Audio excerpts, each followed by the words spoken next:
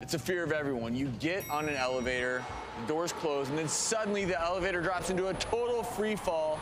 Well, for our next guest, Mindy, she survived an elevator accident just like this one. 14 years ago, I was in an elevator accident. The elevator plunged 75 feet.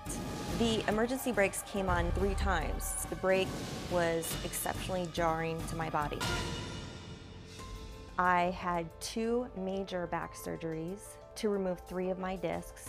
I had a TENS unit permanently placed in my body that helps manage the pain. I developed a condition called gastroparesis, which is paralysis of the stomach.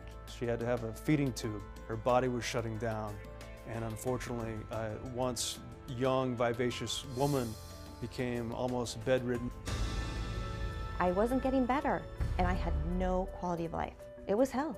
Over the years, I noticed that I would be grinding my teeth at night. And we're talking severe grinding. I would have headaches, pain that was so far in your ear that I've never experienced before.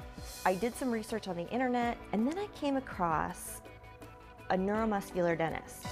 After going over her medical history, I found out that there's a lot more than just the grinding and a headache. I realized that she's suffering also from what we call malocclusion or misalignment of the teeth, better known as TMJ. I made her an orthotic in order to open her bite, uh, bring her jaw slightly forward to give her more oxygen, and also align her misalignment of the teeth. After I had received the oral orthotic, the transformation was immediate.